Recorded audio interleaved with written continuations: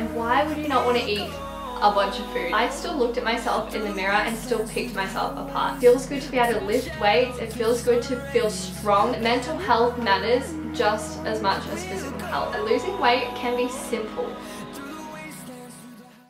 Hey guys and welcome back to my channel. My name is Brittany. If you are new to my channel, I am obviously Australian if you cannot tell by my accent and I'm also a personal trainer and online fitness coach. I have gone on my own weight loss journey over the past I'm gonna say roughly six years that saw me lose 20 kilos or I think that's like 40 45 pounds or something and along the way I have learned so many things I've made so many mistakes I've had so many like plateaus and just things like that that have helped me kind of get to the place where I am today where I help other women lose weight and do it in a sustainable and enjoyable way. So I wanted to share with you guys five of the things I wish I knew when I started my weight loss journey. I started in like 2013 I want to say so times have definitely changed since then and there's a lot more information out there now and all that kind of stuff I mean the fact that I'm even making this video is crazy because back then there wasn't a lot of help online and whatever kind of help and guidance there was it was very just like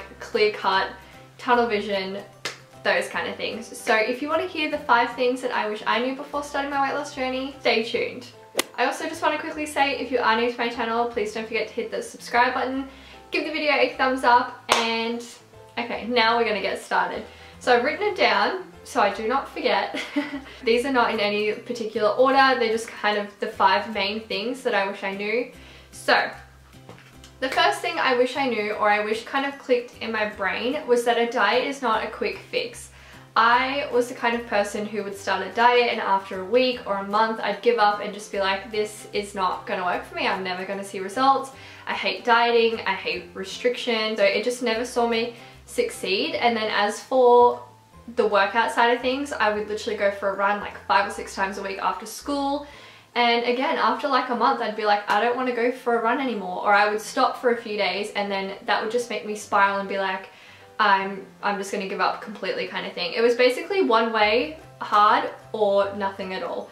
So it really did take me a while and maybe it was as I got older and stuff to just really think about it in a sustainable way and instead of cutting out all my favorite food groups, which I definitely did do those first few years because I was uneducated, but I used to be afraid to eat chocolate, all those things, takeaway, bread, pasta, sugar, I just gave up a lot of those things when I first started my weight loss journey because I thought I had to in order to see results and I wanted to see results in the quickest way possible. I feel like when you have a time limit, like say you're getting married in 12 weeks, it is a little bit easier to be more restrictive for that time frame because you have a set goal. But for most people who just want to lose like those extra 5 kilos or 10 kilos just so that they feel better within themselves, don't limit yourself. Don't give yourself a time limit because it's just not going to be realistic and if you have a dead set time limit, especially when it's a short period of time like 8 to 12 weeks,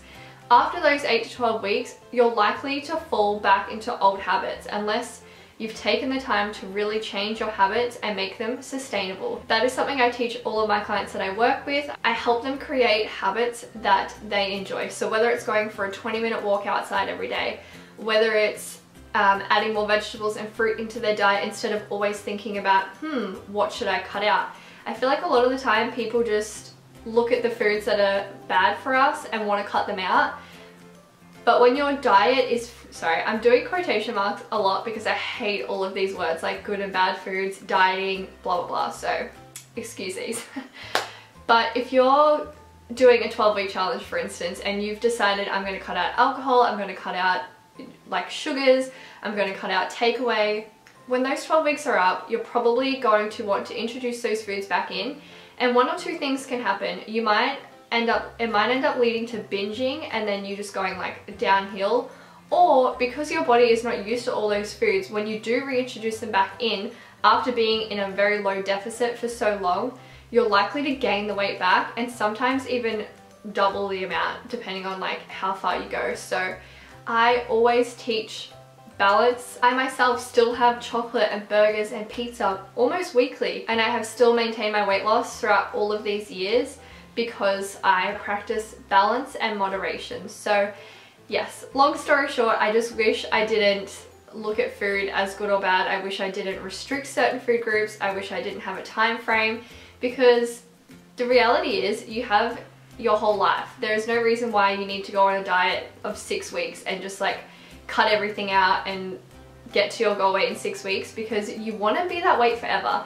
And the way I explain it to people is basically, would you rather take three months to get to your goal weight, but then a few months later gain it all back again? Or would you rather take six to 12 months to get to your goal weight and keep it off? So that is something that you should think about when starting these types of journeys. I preach sustainable habits and that is how I've kept my weight off for the past six years. The second thing I wish I knew that might lose a few people or might stir the pot a little bit if you will is I wish I had started calorie tracking back when I started my weight loss journey. I did manage to lose the 20 kilos without tracking whatsoever so it definitely isn't necessary especially if you struggle with mindset and behavior around tracking and numbers and if you have like eating disorder tendencies and things like that. I definitely do not recommend tracking to everyone. A lot of my clients actually don't track because it's just better for their mental health.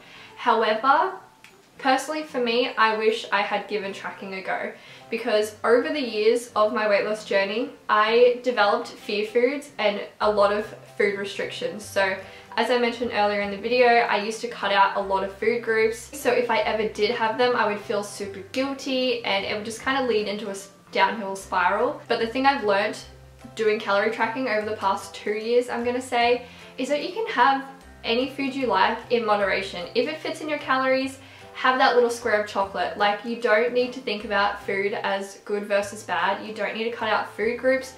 You just need to learn how to have a balance in your life and I'm not preaching to just like eat whatever you want if they fit in your macros. I definitely do not do that approach. I definitely preach to have a lot of fruit, a lot of vegetables, protein, good carb sources, but also there's nothing wrong with having a square of chocolate or a bowl of pasta for dinner, you know? Like it's just everything in moderation and it's all about balance.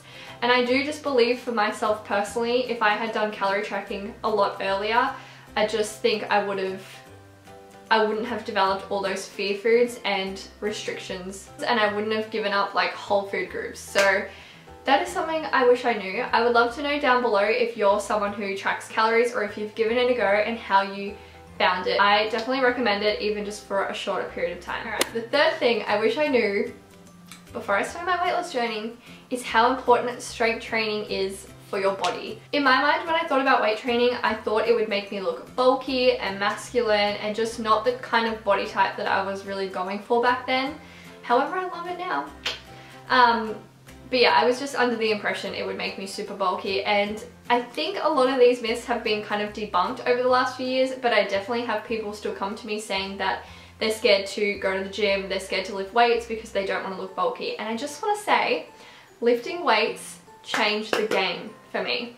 I definitely lost weight doing cardio, so I used to go for runs um, probably four or five times a week, and that's how I predominantly lost weight. However, I had no muscular strength, I was not very lean, and I was also not very toned. So yes, I had dropped actual body fat, but it still wasn't the ideal like body type I was going for, I guess you could say. When I joined the gym and started implementing like weights and strength training, I can't even tell you how much it changed my body. Basically, the more muscle mass you have, the faster your metabolism and the more you can eat. And why would you not want to eat a bunch of food and not put on excess fat? So that was the main game changer for me. I was able to eat a lot more than I had previously.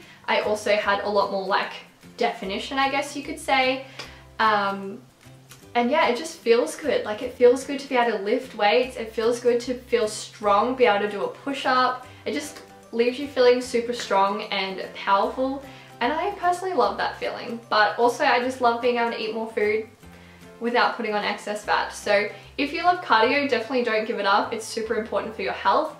But I would definitely recommend getting into strength training and just lifting weights, even if it's things like dumbbells and stuff, that's totally okay too. You don't need to go into the gym and lift like barbells and use the machines and stuff. Any, any sort of resistance style training is going to be beneficial for you. So yeah, hopefully that one helped. the fourth thing I wish I knew was that losing weight can be simple. I feel like there's so much information online and so many different diets, just so much info from influencers to actual qualified trainers and it's impossible to know where to start when you're given all this information. But one thing I want you to know if you're watching this because you're wanting to start a weight loss journey, it is simple. You do not need to cut out any food groups. You do not need to go to the gym if you don't like the gym. Find things that work for you. So if you're someone who loves Pilates or if you love going swimming, that is perfect. That is amazing. You're moving your body. You don't need to follow a strict gym routine because a girl on Instagram is going to the gym all the time. You have to do what works for you and find what suits you best because that is how you're going to be able to enjoy your journey but also have sustainable long-term results. So just do what works best for you. When it comes to food, it honestly is as simple as calories in versus calories out. If you're eating more calories than your body naturally burns in a day, you're going to put on weight. But if you're eating less calories than your body naturally burns in a day, you're going to be able to lose weight. So it really is as simple as that. You don't need to go on a keto diet to lose weight. You don't need to turn vegan to lose weight. Obviously, if you have dietary restrictions or it's just like a lifestyle choice, that's totally fine. But yeah, I honestly just wish I knew it was as simple as calories in versus calories out and what works best for me. The fifth and very last thing I wish I knew before starting my weight loss journey, and we're gonna get a little bit deep here, is that mental health matters just as much as physical health. Your mindset and the way that you view your body, the way that you talk to your body, and just in general, the way that you feel on your day-to-day -day basis affects so much of your physical health and your journey in general. I'm just gonna put it out here and say, when I lost those 20 kilos, I still looked at myself in the mirror and still picked myself apart. I've lost all this weight, like why am I still not happy with my legs? Why do my legs stand out to me when I look in the mirror? Why is my stomach not as flat as I want it to be? Why do I still have like batwing arms? You know, all that kind of stuff. And it's because of the years and years of looking in the mirror and picking yourself apart. It doesn't matter how much weight you lose. It honestly matters about how you think about your body and how you talk to your body as well. If you're constantly looking in the mirror and picking out all your flaws and all the things that you don't like about yourself, you're going to always think about that stuff regardless of how much weight you lose. You're always going to look in the mirror and kind of see the old you and that's where your mindset really needs to change. So something I like to tell my clients is to look in the mirror and choose three things, even more if you can find more about yourself, but let's start with three, three. three things that you love about yourself. Constantly just tell yourself you are beautiful, you love those things about yourself, you appreciate those things about yourself, and hopefully the other things will start to come into play because even though a couple of years ago I was at my smallest weight, I still picked myself apart, whereas now when I look in the mirror, I can see kind of the beauty in my body. I definitely still have days where I look in the mirror and don't enjoy what I see, but most of the time I can really just appreciate my body for what it is and what it does for me. And I do think that your mindset like matters so much. It really doesn't matter if you've lost 10 kilos. That just simply means that you're lighter. And you need to change kind of your mindset. And then as for mental health, you need to really work out kind of how you're feeling and what matters most to you. If you're someone who's struggling with like anxiety and a lot of stresses in your life, sometimes going on these types of journeys and giving yourself all these strict things like you need to hit 15k steps a day, you need to eat 1500 calories a day, you need to go to the gym five times a week. That is going to make life so much more overwhelming for you. So definitely try and just make small changes here and there. If it means just going for a 20 minute walk every day instead of setting a proper step goal. If it means moving your body three to four times a week instead of going to the gym five times a week. If it means just having more fruit and vegetables in your day instead of tracking the exact numbers, do what's best for you and your mental health because that is what's going to help you ha like have a more enjoyable journey and also make it more sustainable. So Hopefully those five tips helped. If you wanted to hear any other of my tips, please let me know in the comments below and I will make a part two to this. Literally just do what works best for you. Move your body in the way that feels good to you. Eat what feels good to you. You'll definitely see results. So yeah, I hope you enjoyed the video. Give it a thumbs up if you did and I will see you guys in my next one. Bye!